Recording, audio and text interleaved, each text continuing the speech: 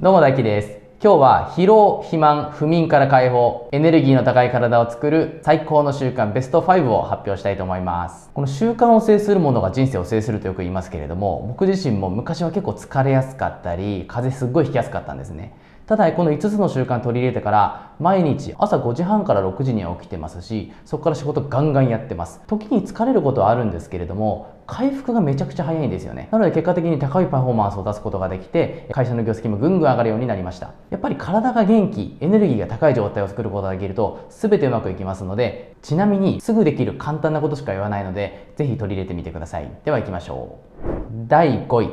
月光浴。これ月の光を浴びるってことなんですけど僕自身こう疲れたなとかなんかちょっとこう調子悪いなみたいな感じる時って月を見て月の光を浴びながら「ふー」とか「はー」とかすごい言うんですね。朝起きた時に太陽の光浴びるといいよってよく言いますよね。これ逆説でじゃあ月の光を浴びるとどうなのか。月の光を浴びるっていうのはこうセロトニンっていう脳内ホルモンが出てすごくいいって言われています。このセロトニンというのは怒りや焦り不安イライラなどマイナス的な感情を抑制する働きがあるって言われてるんですね。で中国の陰陽五行説とかだとやっぱり陰と陽。太陽は陽でどんどんどんどん元気を与えてくれる。月は陰で吸ってくれるっていう。この陰と陽のバランスどっちでもね光があれば闇があるとか言いますけれどもこれもこれ自分をずっともこれ56年以上使っていてめちゃくちゃ体感があるのでぜひやってみてください。第4位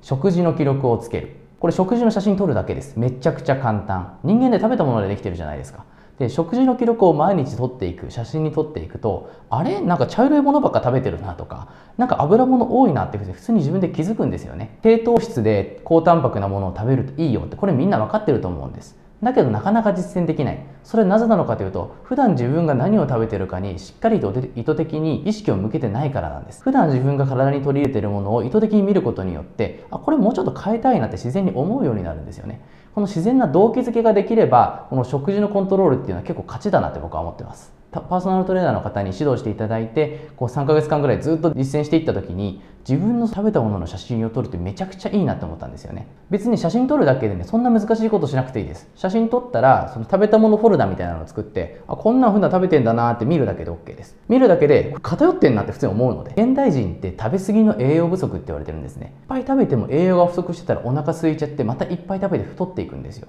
でいっぱい食べると胃と腸がパンパンになっちゃってそっちの消化にエネルギー使っちゃって本来の体の回復にエネルギー使えなくなりますので食べたものをレコーディングする写真に撮るこれ実践してみてください。第3位オートファジー。16時間断食です。このオートファジーっていうのは東京工業大学の大隅教授という方がノーベル生理学医学賞っていうのも受賞してるぐらいすごい発見だったんですけれども人間って細胞でできてますよね。で僕らって空腹時間が16時間超えてくると僕たちの細胞が生まれ変わりをどんどんどんどん促進するらしいんですよ。どんどんどんどん元気な体になっていきます。体をきれいにしてくれるらしいんですよね。で16時間ご飯食べないの？えー、って思うかもしれないんですけど例えば夜の17時ぐらいにご飯食べてしまってその後寝るまで例えば23時に寝るとすると僕はなんかナッツとかはいらしいんですよね。ナッツとか食べると。であとそれで寝ます。寝て朝5時とか6時とかですよね。そうするとそれだけで12時間ほぼほぼ使ってるんですよね。そこからあと4時間はちょっと朝ごはん我慢してなんか仕事とかしてればすぐ16時間経ちます。でこれ僕毎日やってるかっていうと決してそんなことないです。週に1回とか2週間に1回とかかな。なんか自分がちょっと食べ過ぎたな飲み過ぎたなとか。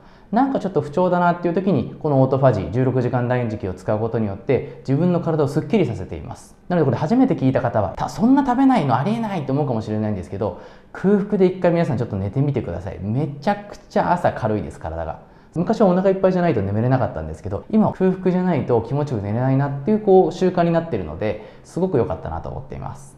第2位コールドシャワー。これはちょっとこの数年っていうよりこの数ヶ月僕が毎朝続けている習慣なんですけれども朝ね1分ぐらいね冷たいシャワーを浴びるんですね。でこの冷たいシャワーを浴びるっていうのは結構いろいろ科学的にいい効果ありますよっていう論文が出ているんですけれどもアムステルダム大学の学術医療センターというところの研究では冷水シャワーで被験者60人か70人。被験者の病気で仕事を休んだりする割合がぐんと減ったという研究結果も出たりしています。で僕自身やってみて思うのはやっぱり、ね、最初冷たいんですよ。最初冷たいんですけどやった後体ポカポカになるんですよね。これは血管が収縮して血流が良くなることによってどんどん体の基礎体温が上がる。基礎体温っていうのは免疫力に直結しますからすごい元気になるんですよね。ただこれ入るまでが辛い。毎日続けてたとしてもわあ今日もやんのかみたいな気持ちになるんです。なので入る前は僕いつも54321シュワーって感じでね浴びてます。でもそうすると本当にバチッとスイッチ入るんですよ。目もパッチリ開きますしよし今日一日いい一日にするぞっていうふうに一気にスイッチが入るのですごくおすすめです。まあ、ただ冷水シャワーじゃなくてもね最悪サウナとか。でサウナ入った後水風呂浴びるとか冷たいシャワー浴びるでも全然効果あると思います。第1位最後はウォーキング。やっぱり歩くっていうのは有酸素運動なので自分の脂肪を燃焼させてくれたりとか他にもリフレッシュとかねめちゃくちゃいい効果抜群です。これ皆さん歩こうと思った時に皆さんいきなり1時間とか30分とか歩こうとするんですよね。で僕の場合は1分歩こうっていうふうにやってます。まず家の前出て辛かったら帰ってこようとかそれでも OK っていうふうに極限まで自分のハードルを小さくしてるんですね。ですぐやめても OK って自分に許可を出しながらちょっと歩く。ちょっと歩くってことをやっていくとここまで歩いたからもうちょっと歩こうかなっていうふうにどんどんどんどん運動ができるようになります。こういう小さなちょっとの積み重ねがどんどんどんどん良い効果を発揮していきますので一駅ちょっと前で降りるとかっていうのもできたらいいかもしれないし僕は自分の家からオフィスまで歩いて10分ぐらい毎日歩いて帰ってました。その歩きながらなんか調べ物したりとか誰かと電話したりとかしてすごく有意義に時間を過ごすことができたので、まあ、自分の生活の動線の中に歩けるように何かを取り組んでいくっていうのもすごく効果的だと思います。はいというわけで最高の習慣ベスト5でした。いかがでしたでしょうか？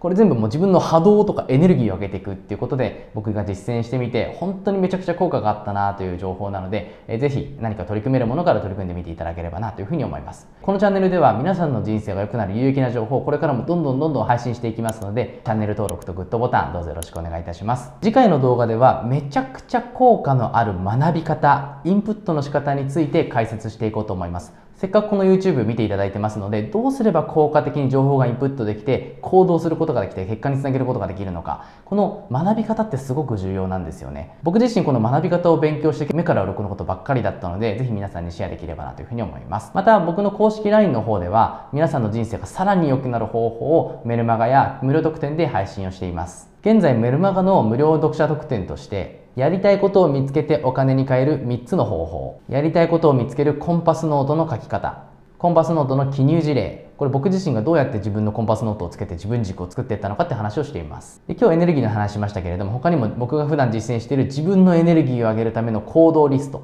あとめちゃくちゃお金貯まる方法。これちょっと投資家の方に教えてもらったコツなのでぜひやってみてほしいです。めちゃくちゃ幸せになる方法。これで自分のメンタルマネジメントしてます。僕今33歳で年商1億円ぐらいの会社やってるんですけれどもやりたいことで年商1億円超えていくまでに実践した5つのことっていうテーマでも話した動画を皆さんにプレゼントしておりますのでぜひ概要欄からチェックをしてみてください。また LINE 登録された方でねこんなこと勉強してみたいんですけどとかがあったらぜひ個別メッセージしていただければと思いますそれ踏まえてまた動画にしてお送りしていきたいと思いますそれではまた次の動画でお会いしましょう。ありがとうございました。